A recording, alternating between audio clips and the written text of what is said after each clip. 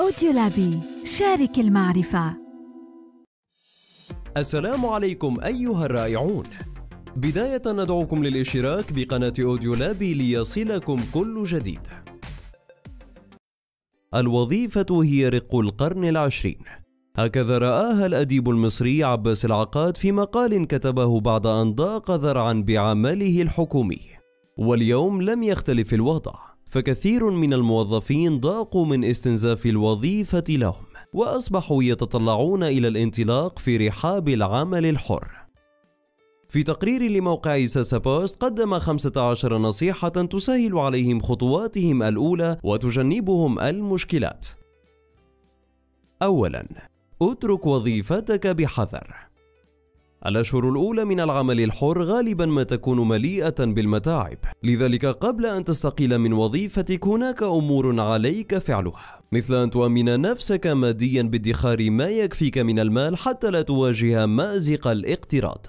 وسيكون من الجيد لو تواصلت مع شبكة معارفك وأخبرتهم بأنك ستتجه إلى العمل الحر فربما يصلونك ببعض العملاء. ثانيا اقترب ممن سبقوك أنت لست الشخص الأول على طريق العمل الحر. هناك الكثير ممن سبقوك. اعمل على خلق فرص تعرفك عليهم بطرق مختلفة مثل حضور الفعاليات التي يهتمون بها أو المشاركة في مجموعات مواقع التواصل الاجتماعي الخاصة بهم. فتجاربهم ستساعدك أن تتجنب الأخطاء المعتادة في البدايات. ثالثا ابتعد عن المحبطين. من المتوقع أن تجد بعض أفراد عائلتك أو أصدقائك غير مقتنعين بأسلوب عملك كمستقل. لا تستنزف طاقتك في النقاش معهم. وإذا حدث واستدرجك أحدهم إلى النقاش فأخبره بأنك مؤمن تماما بأن ما تفعله عمل عظيم تجد سعادتك فيه. واقطع خيوط الاسترسال معه في الحديث. رابعا مكتبك في المنزل. إذا تجنب هذه الأخطاء. يلجأ الكثيرون من أصحاب العمل الحر إلى العمل من المنزل ولكنهم يقعون في بعض الأخطاء التي تقلل إنتاجيتهم مثل عدم اختيار المكان المناسب الذي يجب أن يكون بعيدا عن الهاتف والتلفاز. أيضا من المهم إخبار العائلة بساعات عمل محددة في اليوم لن تكون متاحا فيها لقضاء الأعمال المنزلية أو استقبال الضيوف وبين الحين والآخر سيكون من الضروري أن تخرج للعمل بعض الوقت في المكتب أو المقهى فذلك سيزيد من إبداعك ويجدد طاقتك. خامسا اقتصد قدر الإمكان. السيارة الفارهة وجولات التسوق التي تكلفك الكثير وغير ذلك من الأشياء والعادات. إذا ما التصقت بها ورفضت التنازل عنها في بداية طريق العمل الحر فلن تصمد كثيرا. مطلوب منك أن تمارس فن الاقتصاد بالحرص على كل مبلغ ومراجعة بنود مصروفاتك والاستغناء عن غير الضروري منها. سادسا المهارات تجلب لك الأدوات. يلجأ بعض المبتدئين في العمل الحر إلى تعجيز أنفسهم بربط نجاحهم بحصولهم على أدوات معينة. ربما لا يستطيعون شراءها ويظنون أنهم بحصولهم على هذه الأدوات ستتضاعف إنتاجيتهم. ولكن الأفضل هو التركيز على تطوير المهارات وهي ستعود عليك بالمال الذي يمكنك من تحديث أدواتك.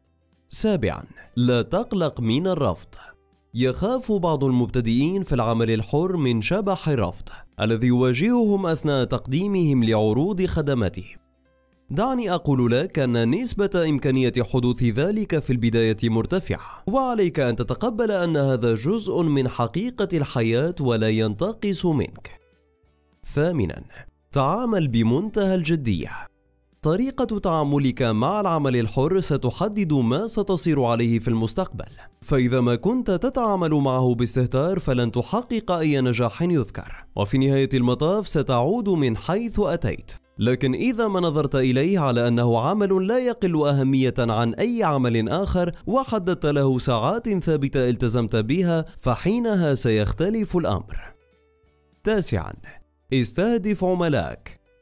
في البداية سيكون من الطبيعي ألا تقبل الشركات والمؤسسات الكبرى التعاون معك، لذلك لا تضيع وقتك في الإصرار على التعامل معهم، وقم بالتركيز على المؤسسات الصغرى حيث احتمالية إسنادها لك بعض الأعمال ستكون أكبر. عاشرا. قدم عينات مجانية. العمل على تنويع أساليب التسويق التي تتبعها سيساهم بشكل فعال في زيادة عدد عملائك. على سبيل المثال يمكنك بين الوقت والآخر تقديم بعض الأعمال المجانية على موقعك. فلو كنت تعمل مصمما لماذا لا تقوم بطرح بعض القوائم المجانية والتي ستأتي إليك بالمزيد من الزوار والعملاء الجدد؟ 11 حدد سعرك. قد تظن أن وضعك للسعر الأقل يأتي إليك بالمزيد من العملاء. هذا ليس بصحيح حيث إن السر يكمن في جودة عملك ومدى التزامك به. أما المقابل المادي فقم بتحديد سعر مناسب لنفسك بناء على مستوى المنتج الذي تقدمه. ومعايير أخرى مثل عدد ساعات العمل وحجم مصروفاتك. 12 حفز نفسك. في عالم العمل الحر غالبا لن تحظى بدعم مستمر من عملائك. دعني أخبرك أيضا أنه في بعض الأوقات ستشعر بالحيرة من عدم وجود فكرة مكتملة لديك عما تقوم بعمله.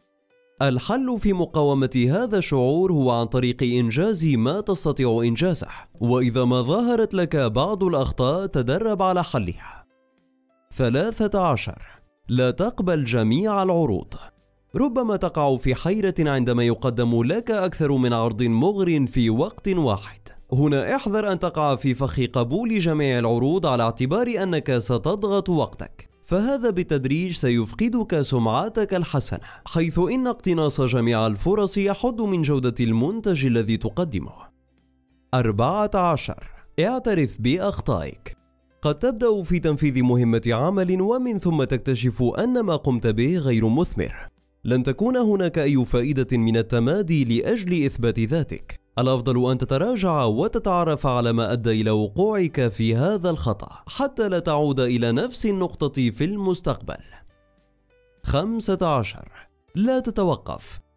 مهما زادت مهارتك لا تتوقف فلا يعني إتقانك لبعض البرامج والأدوات التي تحتاجها أنك أصبحت أفضل من في سوق العمل. عود نفسك على أن تعمل دائما على تطوير وتنويع مهاراتك وتذكر أن التعليم ليس له نهاية. أحصل الآن على حزمتك الكاملة من برمج عقلك على النجاح. توكيدات إيجابية صوتية قبل النوم لبرمجة عقلك الباطن. رابط شراء في مربع الوصف.